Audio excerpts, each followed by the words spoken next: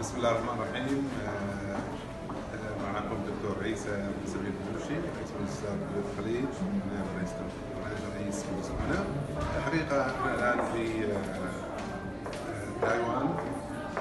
هو مؤتمر QS Apple الثالث عشر.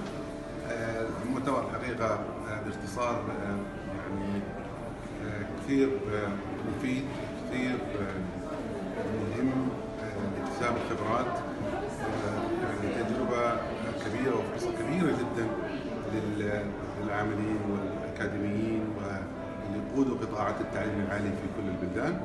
آه، تجارب واحتكاك وتناضح فكري كبير الحقيقة آه، حصل يحصل اليوم جالس يحصل اليوم في في تايوان في مدينة آه، تايتشاو.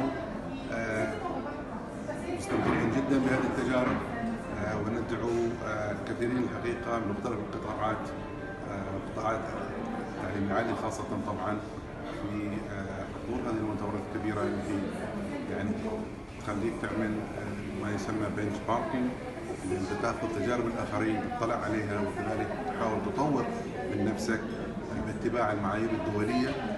طبعا وهذا شيء إحنا كثير سعيدين سعيدين كان معي أخي العزيز دكتور تقي العكواني آه، يقدم ورقه إن شاء الله هو كذلك آه،